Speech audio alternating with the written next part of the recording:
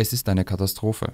Der Öltanker New Diamond ist vor der Ostküste Sri Lankas in Brand geraten. Der Tanker ist voll beladen und soll in etwa 318 Millionen Liter Öl transportieren.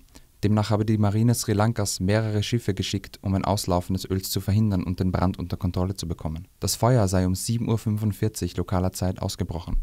Der Tanker war demnach auf dem Weg von Kuwait nach Indien.